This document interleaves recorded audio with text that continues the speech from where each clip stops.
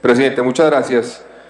Primero, me parece fundamental que este debate se dé en el Congreso de la República y que Colombia vea este debate y conozca los elementos que tienen que ver, en mi opinión, no solamente concretamente con acusaciones que ha planteado el senador Cepeda frente a la persona del senador Uribe, sino frente a los vínculos de la mafia, del cartel de Medellín con la política y a los vínculos de la política con los paramilitares.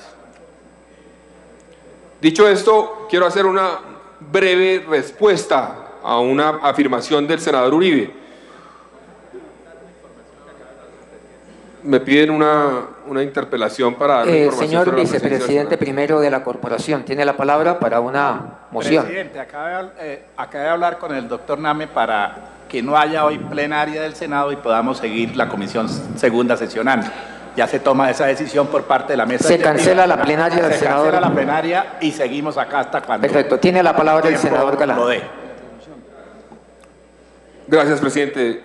Le decía que me iba a referir a, a un punto inicialmente en particular que mencionó el senador Uribe, y es eh, unas acusaciones contra Germán Vargas Lleras, el vicepresidente de la República.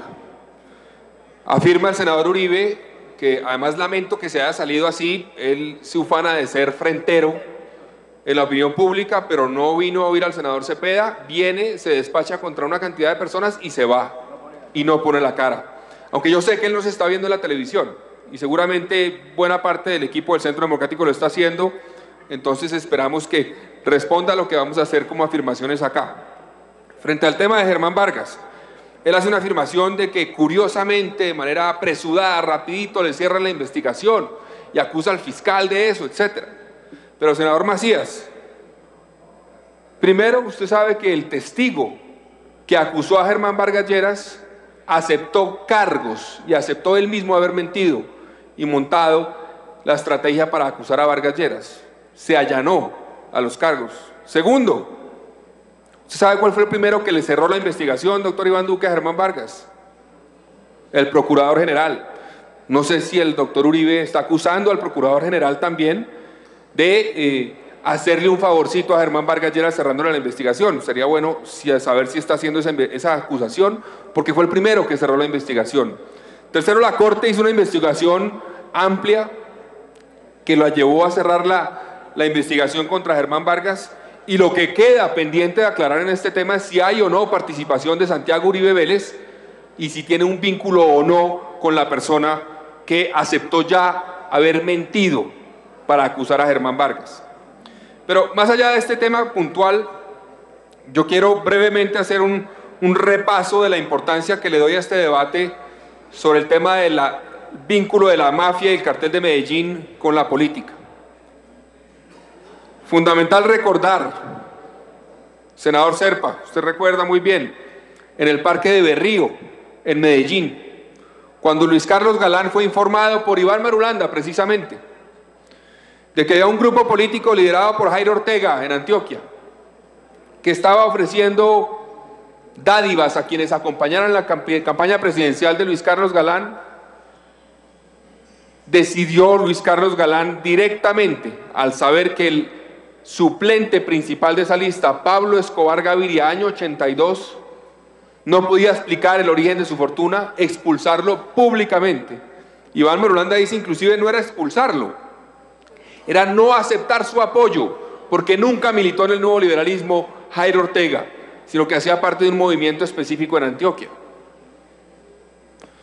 Dicho esto, le llama a uno mucho la atención después de esta afirmación pública del nuevo liberalismo, ver al doctor William Vélez Mesa, aliado político del doctor Álvaro Uribe, en campaña política con Pablo Escobar Gaviria. Y no solamente eso, senadora Guerra, sino afirmar públicamente que Pablo Escobar Gaviria es el futuro del Partido Liberal en Colombia y que Pablo Escobar Gaviria es el futuro del país. Esas fueron las afirmaciones de William Vélez Mesa, aliado político de Álvaro Uribe. Y es que la estrategia contra el tratado de extradición no se limita a lo que mencionó el doctor eh, Cepeda acá. La estrategia contra el tratado de extradición empezó mucho tiempo antes, porque era la herramienta que tenía el Estado colombiano para enfrentar con contundencia en ese momento la amenaza que significaba la mafia y especialmente los carteles de Medellín y de Cali. Vale la pena recordar lo que ocurrió aquí, en este Congreso, en el año 86, cuando la mafia diseñó una estrategia para tumbar el tratado de extradición poniendo fichas que le cumplían su misión en la presidencia de la Comisión Primera del Senado y en la presidencia de la Comisión Primera de la Cámara. ¿A quiénes? Alberto Santofimio Botero. ¿Y el segundo cuál era? Jairo Ortega, quien había sido el principal de Pablo Escobar Gaviria.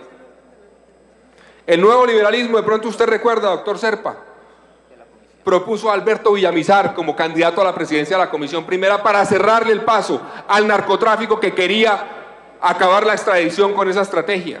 Y se pueden mirar los anales del Congreso. Y una pelea duró más de 20 días o un mes sin elegir presidente de la Comisión Primera.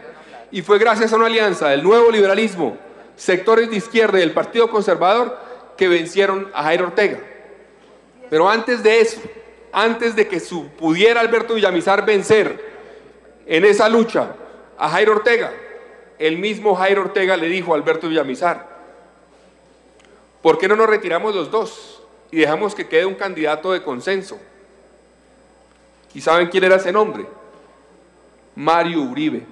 Era el candidato de consenso que proponía el principal de Pablo Escobar Gaviria en este Congreso, como quien podía liderar la comisión primera cuando se iba a discutir precisamente el tratado de extradición y cuando se iba a discutir el estatuto de, de estupefacientes que no se había aprobado todavía.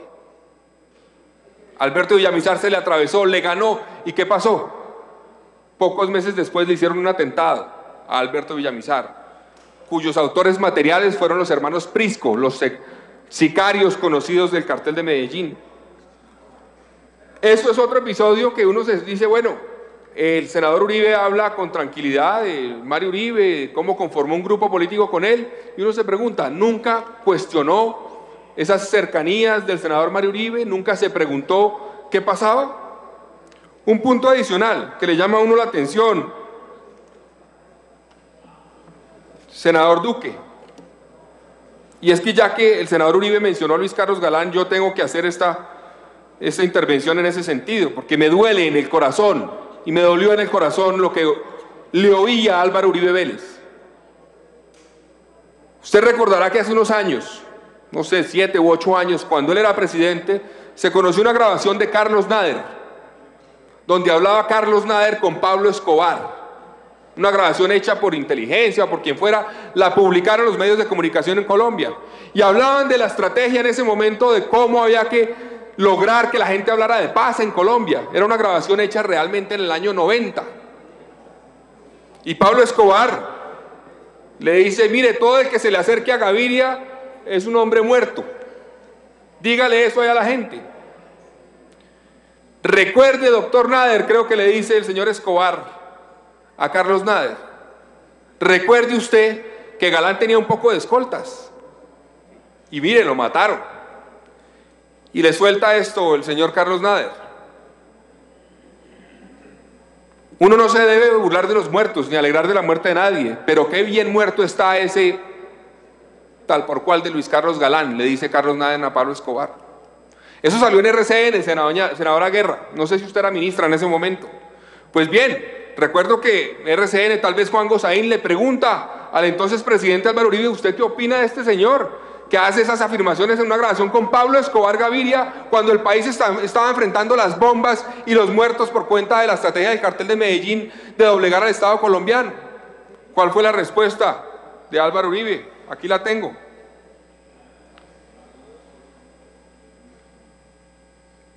Él es muy simpático y divertido es muy amigo, es una, una persona querida conmigo, conmigo, con mis hijos. Mis hijos le han tenido cariño. Yo le pregunto a usted, senador Iván Duque, si esa es la respuesta que merece un periodista que pregunta sobre las afirmaciones de alguien que hablaba con Pablo Escobar celebrando la muerte de Luis Carlos Galán, que es alguien muy simpático y muy divertido y muy amigo mío.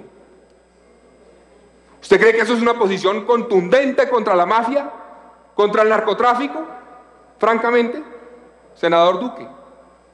Yo no lo creo. Yo creo que eso es tener y sumado a todas las afirmaciones que ha hecho aquí el senador Cepeda, le genera a uno una preocupación muy grande de no ver ahí realmente una posición firme contra el narcotráfico.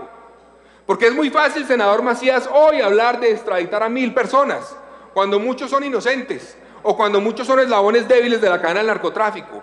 Pero qué valientes eran los que se enfrentaron a la mafia realmente en los años 80 y los que defendieron el tratado de extradición. Porque es que es muy fácil decir, no, yo solamente pedí que la votación del referendo fuera en una fecha distinta a las elecciones parlamentarias.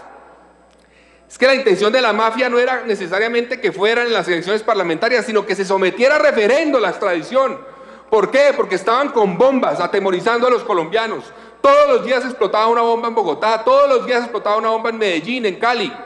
¿Con qué estrategia? De obligar a la opinión pública colombiana, que se diera cuenta que el problema era la extradición y que con la extradición eliminada podíamos superar la etapa de violencia. Esa fue la época fundamental de la extradición, donde era una verdadera, la única herramienta fuerte con la que contaba el Estado colombiano para defenderse ante la amenaza de la mafia. Muy distinto a las extradiciones de después, que claro, hacen parte de una dinámica de política criminal, pero muy distintas a las extradiciones que se hicieron después. Dicho esto, yo quiero también hacer una breve reseña sobre lo que ha sido el tema del proceso de paz con los paramilitares, porque a mí me preocupa mucho los errores que se cometieron en ese proceso que han llevado a que no haya la verdad que se esperara, que no haya la verdad que esperaban las víctimas de los paramilitares y a que tengamos todavía muchos vacíos en la historia de los vínculos entre paramilitares, política y Estado. No voy a repasar la historia y cómo surgieron los paras en su última etapa, que fue a través del MAS, precisamente, muerte a secuestradores cuando secuestraron a la hermana de los Ochoa, precisamente. Y los narcotraficantes se reunieron y Carlos Deder, por ejemplo, hizo recuerdo unas, eh, eh, contrató unos aviones para que sobrevolaran los, los estadios y enviaran un mensaje de que se había creado un grupo que iba a acabar con los secuestradores en Colombia. El paramilitarismo en Colombia se ha presentado en algunos sectores políticos como una expresión simplemente contrainsurgente que tuvo vínculos y financiación del narcotráfico. Las investigaciones que han hecho fundaciones como Ideas para la Paz indican lo contrario. Si uno revisa la presencia paramilitar en Colombia desde los años 80, se da cuenta que está mucho más relacionada con el narcotráfico que con una acción insurgente, al contrainsurgente. Senador, concluya su intervención. Vieron en la primera parte, le pido que me, me compense eso con dos minutos. Entonces, si uno mira los resultados de las investigaciones de Ideas para la Paz, se da cuenta que la expresión paramilitar en Colombia tenía más vínculo, no solamente, obviamente, con el narcotráfico, también con la presencia de la guerrilla, pero mucho más explica la presencia del paramilitarismo, según esas investigaciones, la presencia precisamente del negocio del narcotráfico. Y el gobierno del presidente Álvaro Uribe decía el otro día al senador Bustamante en un programa de televisión, contuvo a tiempo el fenómeno del, paramilitarismo, a tiempo logró frenarlo. Yo me pregunto si a tiempo es frenar un fenómeno que generó centenares de miles de víctimas en Colombia. Y segundo, en ese proceso, y eso está demostrado plenamente, no solamente hubo paramilitares del estilo de Castaño o esas figuras Ramón y Sasa, etcétera, vinculados al narcotráfico, paramilitares vinculados al narcotráfico, sino que hubo narcotraficantes que compraron bloques paramilitares para poder acceder a los beneficios que generaba la ley de justicia y paz. Y lo de la ley de justicia y paz, ¿Quién puede olvidar que el proyecto que presentó el gobierno de Álvaro Uribe inicialmente de alternatividad penal buscaba realmente dar unos prácticamente unos indultos a los paramilitares y que fue a raíz del debate que dio este Congreso y que dio la opinión pública que se cambió ese proyecto. Inclusive el proyecto aprobado por este Congreso fue luego modificado por la Corte Constitucional para garantizar que los derechos de las víctimas se pudieran garantizar con ese proceso. Pero miremos lo que han sido los resultados de ese proceso. Si uno mira concretamente en cifras, la mayoría, la mayoría de víctimas de los paramilitares no han visto o no han conocido la verdad sobre la responsabilidad de los paramilitares y los vínculos de paramilitares con políticos y de diferentes sectores de la sociedad colombiana. Ha habido una verdad parcial, pero no ha habido la verdad completa. Apenas 16 condenas creo que existen en este momento de justicia y paz. La inmensa mayoría de paramilitares, inclusive responsables de delitos de lesa humanidad, no han sido condenados. Entonces se pregunta uno, ¿esa experiencia fue la experiencia que garantizó el desmonte del fenómeno del paramilitarismo? Un minuto, senador. Una experiencia que permitió básicamente una mutación de muchos de esos sectores en bandas criminales que hoy siguen operando todavía en regiones del país porque están íntimamente o hacen parte básicamente del fenómeno del narcotráfico. Entonces, dicho esto, presidente, a mí sí me parece fundamental este debate que se haya dado. El país tiene que saber. Yo me pregunto, los colombianos vimos buena parte de miembros de la clase política ser llevados ante la Corte Suprema de Justicia por parapolítica. Tal vez no hemos conocido todo, hay que conocer mucho más. Vimos la responsabilidad de políticos con el cartel de Cali, parcialmente. Pero yo me pregunto, ¿qué supimos de la responsabilidad de la clase política colombiana con el cartel de Medellín y esas alianzas? ¿No hubo alianzas? ¿Solamente el señor Santofimio tuvo que ver con el cartel de Medellín? ¿O cuál fue la estrategia en este Congreso de la República para tumbar el tratado de extradición y para garantizar que los miembros del cartel de Medellín no fueran procesados? Esa pregunta se la tiene que hacer Colombia. Esos son fantasmas que están ahí, que nos siguen asustando de vez en cuando y que solamente cuando los saquemos del closet, los enfrentemos y podamos tener la verdad en Colombia sobre la responsabilidad de la clase política con grupos ilegales de todo sector, de todo tipo, podremos tener reconciliación en Colombia y podremos tener paz. Muchas gracias, presidente.